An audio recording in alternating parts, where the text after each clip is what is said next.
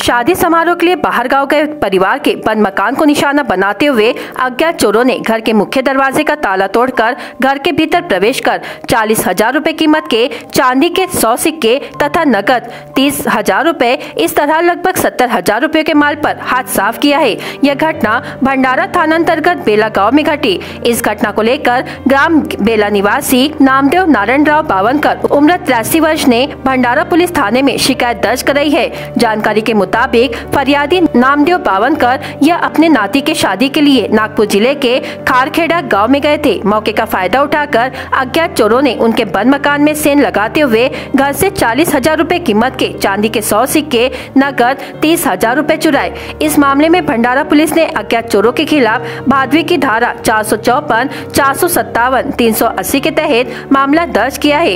इस मामले की जाँच पुलिस हवालदार वरखड़े कर रहे हैं। भंडारा गोंदिया जिला वासियों के लिए खुश खबर है। अब आपका मनपसंद channel B S crime India news अब आपके केबल नेटवर्क पर। जी हाँ अपने केबल नेटवर्क के एशियन चैनल नंबर तेरह पर उपलब्ध है।